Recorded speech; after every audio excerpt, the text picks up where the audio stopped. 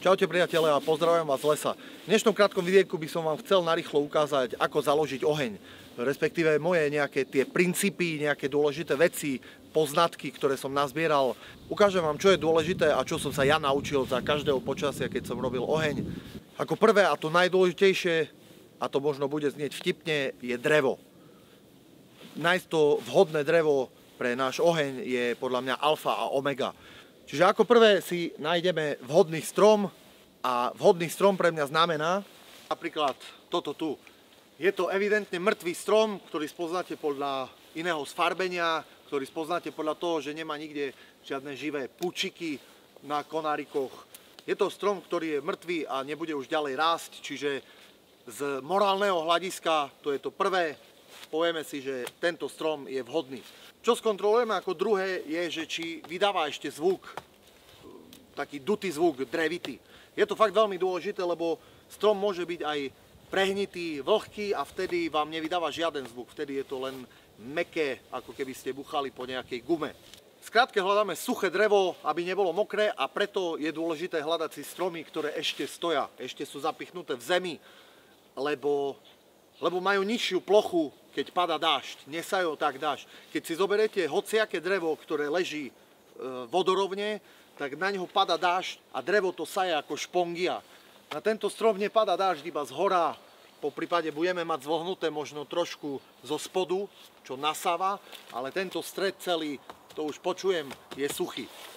Čiže drevo, ktoré leží len tak na zemi, nejaké konáre, to je použiteľné možno iba tak v lete, ale za počasia, kedy pršalo, pred pár dňami, tak to je nepoužiteľné drevo. To, že či máte so sebou pílku, alebo ako ja mačetu, alebo nejaký nôž, to už je samozrejme na každom z vás. Ja by som dnes chcel ukázať taký spôsob, kde čo najmenej budem používať svoju mačetu. Takéto suché drevo, takýto odumretý strom, z už vieme určite aj vylomiť, lebo nemá už pevný koreňový systém. Koreňový systém bude určite prehnitý. Čiže ho vieme opatrne aj zlomiť alebo vytrhnúť. Tak ako sa to teraz odlomilo, je to o to lepšie znamenie, že ten strom je úplne suchý, lebo sa nám nevyrval s koreňami a nie je to plesnivé, nie je to mokré, ale pekne sa nám odlomil, to znamená, že toto je optimálne drevo. Ak so sebou pilku alebo sekeru nemáte, nájdete si dva stromy, ktoré sú blízko pri sebe a použite to, použite takú paku a budete strom proste lámať.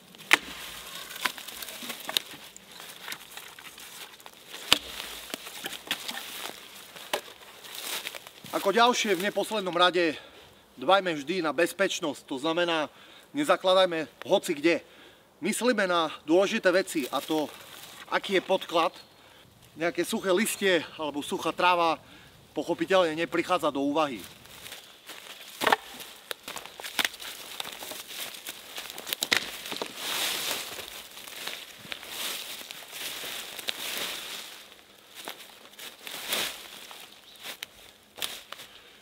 Viem, že posledné dny pršalo, pôda je veľmi vlhká, čiže pod týmto listím, ktoré som teraz odhrabal, mám pôdu, mám blato, vlhkú pôdu, čiže nemusíme sa ničoho báť, aby sa to niekde nešírilo dole alebo do bokov. Ako ďalšia dôležitá vec, respektíve z mojich skúseností, ako to ja mám rád, je robiť si podklad pod oheň. E, keby sme teraz Keby sme teraz zobrali suché drevo a položili ho na túto mokrú hlinu, na toto blato, tak e, oheň založíme len veľmi ťažko, lebo by neprudil vzduch.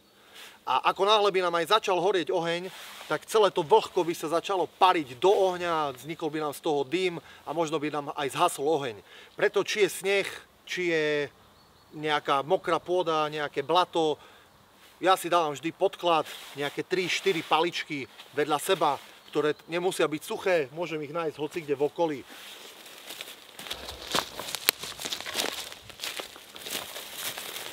Tak tu bol taký vlhší strom a takto to položím vedľa seba. Pri snehu to obzvlášť platí. Dávajte si tento podklad. Na snehu samozrejme to oheň nezaložíme.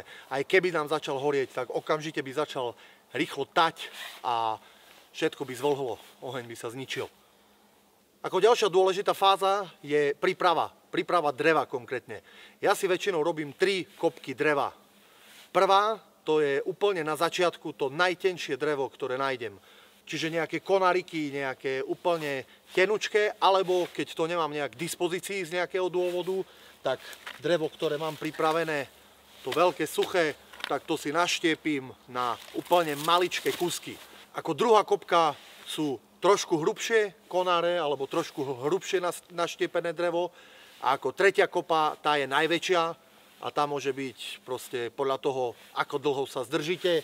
To sú už fakt doslova tie najhrubšie dreva. Tie nám horia najdlhšie, tie proste nemusíme nijak extra spracovať a len ich prikladáme. Ale potrebujú, aby sa zapálili, potrebujú byť položené už na existujúcu nejakú žeravú kopku dreva. Pri tej prvej najjemnejšej vrstve je samozrejme tiež dôležité, aby drevo bolo suché. A to to zistíme hlavne podľa zvuku. Potrebujeme zvuk, ktorý proste praskne. A keď sa pri rozlomení tohto konárika okamžite oddelia tieto dve časti od seba, vieme, že drevo je suché. V opačnom prípade, keď je drevo ešte vlhké, tak nám ostanú nejaké vlákna. Neodlomí sa nám to od seba, ale musíte to potom trhať. To znamená, že tieto vlákna sú ešte mokré a drevo tým pádom na začiatok, na to, to najjemnejšie, nie je vhodné.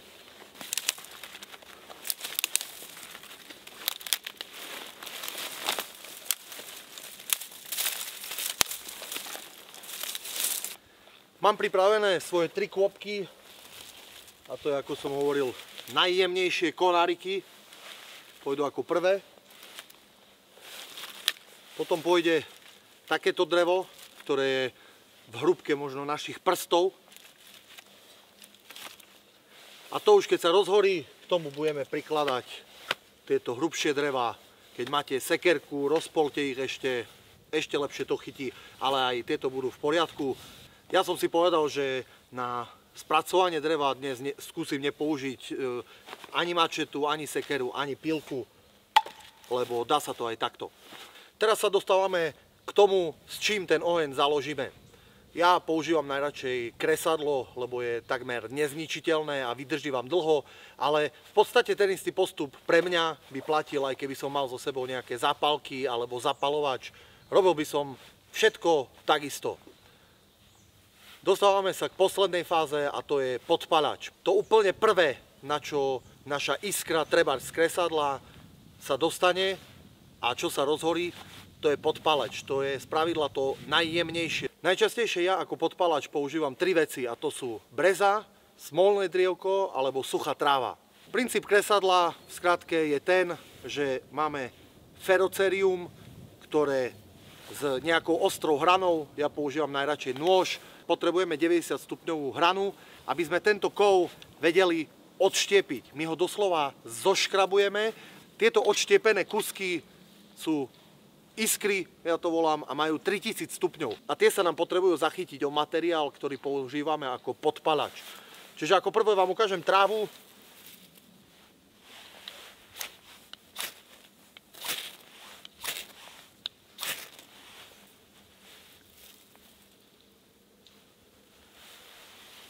tráva horí a na to by som teraz dával tú moju prvú z tých troch kopiek.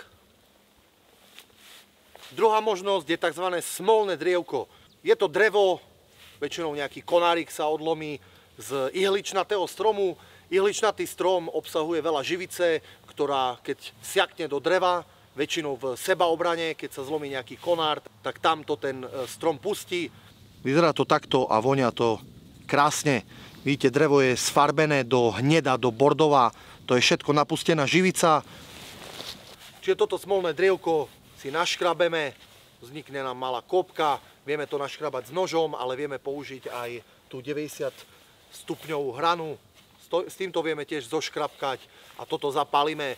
Vynikajúco to horí tiež za každého počasia. Ale môj najobľúbenejší spôsob je breza. Brezu nájdeme väčšinou v nejakých vlhších oblastiach, respektíve v oblasti, kde je nejaký potôčik, nejaká rieka, nejaká voda. Tá vrchná vrstva brezy je ako papier, obsahuje eterické oleje a je veľmi dobré horlava aj za vlhkého počasia. Brezu si tu naskladám a jeden kúsok brezy naškrabem takto nožikom, aby nám vznikli takéto malé vlásky.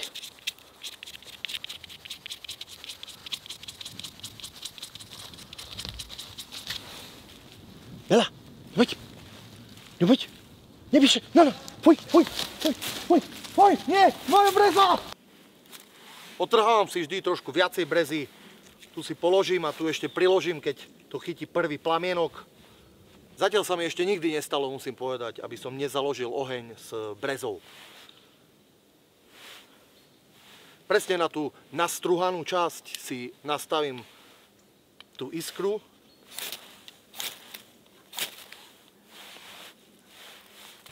Tak a prikladám tú zvyšnú brezu. A na to teraz položím túto vrstvu, tú našu prvú kôpku toho jemného materiálu. Dôležité je, aby sa nám to dostával vzduch a to zabezpečuje aj ten podklad z tých driev, ktoré máme. Cirkuluje tam vzduch, a tým pádom živí kyslíkom náš oheň.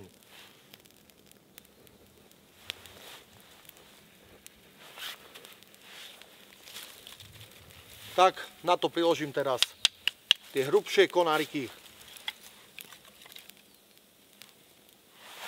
Ako ich skladám, je viac menej jedno, to robím spontánne. Vždy je ale dobre nechávať e, vzduchové kanáliky, povedzme, aby neboli dreva proste nadsapené na seba. A už keď je väčšina dreva chytená, môžeme prikladať už len tie najväčšie kusky. A to je v podstate všetko. Takto by ste mali uspieť za každého počasia. Aj keby pršalo, podotýkam pred dvoma dňami začalo pršať, pršalo dva dní, všetko je vlhké, všetko je mokré a podarí sa to proste. Video samozrejme je primárne pre začiatočníkov, by som povedal, ktorým tieto princípy možno pomôžu. Tento spôsob ma zatiaľ nesklamal. Priatelia, v tomto duchu vám prajem, dávajte na seba pozor, dávajte pozor na prírodu, obzvlášť s ohňom, obzvlášť v lete, majte po ruke vždy optimálne nejakú bažinu alebo nejakú vodu, ktorú ja tu mám a oheň potom pekne viem zahasiť. Dbajte prosím na túto bezpečnosť, ostaňte zdraví a vidíme sa na budúce. Čaute.